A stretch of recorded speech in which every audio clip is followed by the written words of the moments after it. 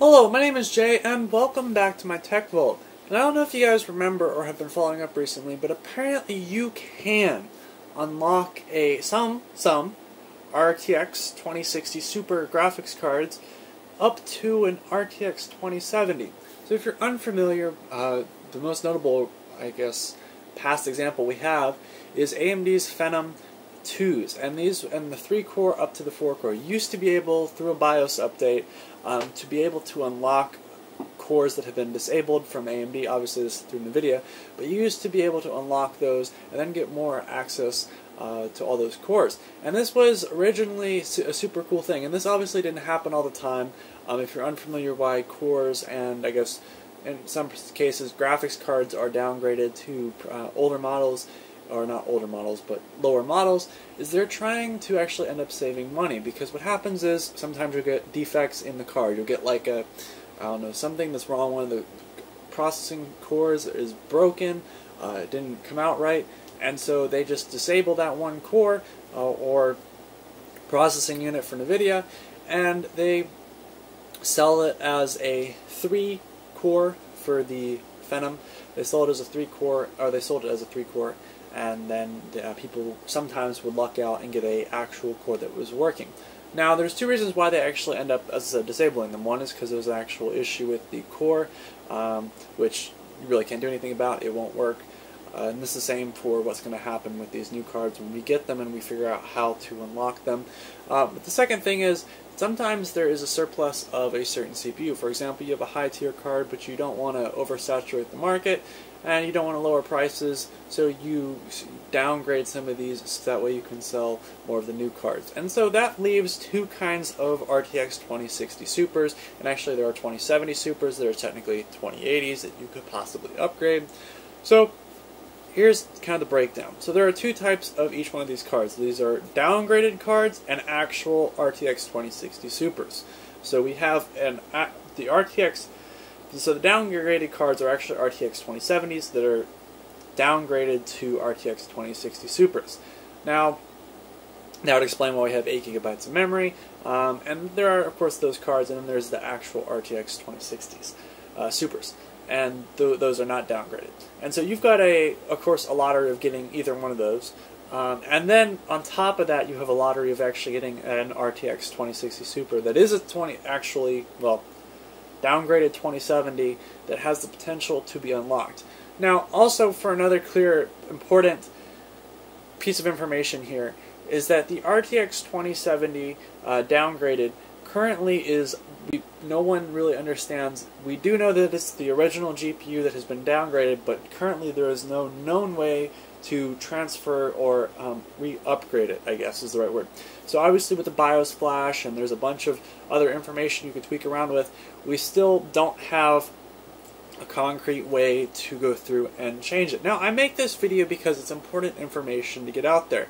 The reason why I'm making this video is so people will see this and be like, "Who? That's cool." Because if you raise, if we raise awareness of it, there will be someone out there that does figure it out. It's not, it's not like a wild walk in the park. If this is actually something that could be done, if enough research is done and someone actually comes up with a way. Now, the problem with this is just like the Phenom, there were pretty low rates of actually getting success with it. I believe it was like 36% is if you bought a Phenom 3, you had a 36% chance of actually getting a working, uh, upgraded, and unlocking the extra core. So, in reality, it may just be another added bonus to when you go out and you buy a 2060 Super or an RTX 2070 Super. It may just be an added bonus that you possibly could have the ability to do it.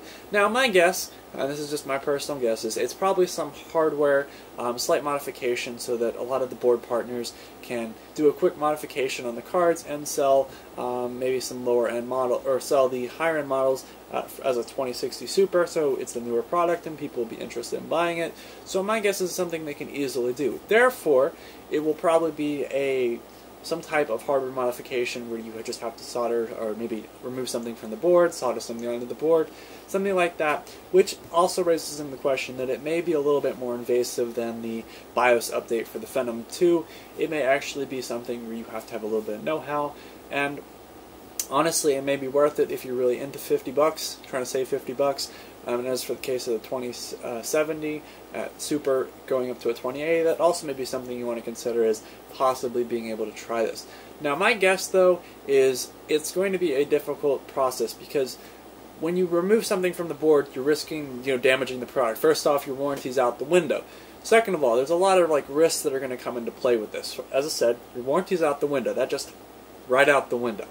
Next up is you're going to be either taking this off, taking whatever thing on, or you're taking a component off, and you're going to test it. If it doesn't work, which who knows what the consequences of it not working are going to be, because there's all types of defects, so you don't know which gamble you're getting. You could fry everything.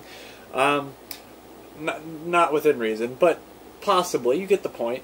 and then you remove it, you find out it doesn't work, so you put it back on. And of course, this requires soldering know-how. Um, if that if that's the kind of fix that they're using, if it's something physically on the die, I'm sorry, unless you I, no, you can't really fix silicon. So or silicon, however you like to pronounce it, you really can't fix it. So no hope.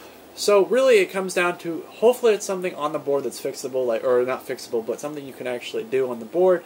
And then it's also something that would require a BIOS update, um, a lot of messing around in the configuration on the graphics card. So you'd have to physically change something on the board and probably do BIOS and a bunch of other software-related stuff to get a working card. Now, is that worth the 50 bucks? Um, for me, I think it would personally take a little bit more than what I could work for in my free time. So I might be able to work pay get more money to actually buy a higher end card rather than the time I'd be investing in trying to get a 2070 Super uh, upgraded to a 2080. Now I'm not saying that this is going to be something that's definitely going to be a challenge. Someone's definitely going to do it, and I know online it's a matter of time before someone figures out how to, or at least a theoretical way of doing so. I think that in time we definitely should see some stuff if it's not on the silicon. Uh, if it's is on the silicon, there's really no hope, and there may never ever be a upgraded 2060 Super to a 2070. Um, but in the reality, it may be a good idea to say, hey, you know, it would be nice. You maybe a BIOS update. Maybe some motherboards decide, hey, you know, we're going to throw in a BIOS in there. We can upgrade your supers for you. That'd be pretty cool. Um, but for me, I definitely don't think it's going to be just a BIOS update. And, or NVIDIA is a little too smart for that, and I think AMD kind of learned their lesson with the Phenom uh, that they're not going to make, uh, AMD is not going to make the same mistake for sure. They haven't already, and I don't think NVIDIA is going to follow suit either. I think it's going to be a quite difficult challenge, and not as simple as a BIOS update. Um, even that's pretty difficult on a graphics card, if you know what you're doing. So, as I said, this is going to be an interesting, uh, I guess time will tell whether or not it's something that's feasible. So the reason why I said when I make this video is to bring you guys aware that this is physic theoretically if it was easy, NVIDIA made it easy, theoretically be a possible way of doing so. Um, a possibility. Ability to go through and upgrade your graphics card. Now, wouldn't that be nice? NVIDIA went through and be like, hey, we've got the RTX 2060, some RTX 2060 Supers, and there's a lottery. Some of them actually upgrade if you're interested, you should buy a 2060 Super, and possibly, like a random chance, you get a 2070.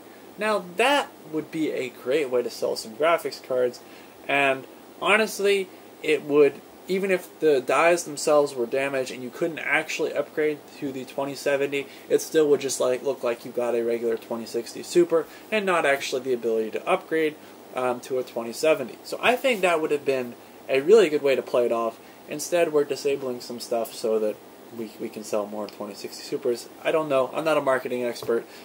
I do computer engineering, so who knows. But thank you guys very much for watching. Hope you guys have a wonderful day.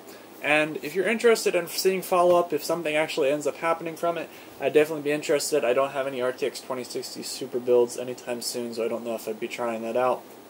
But I definitely think it's something to consider if you're interested. Uh, it's something to at least pay attention to.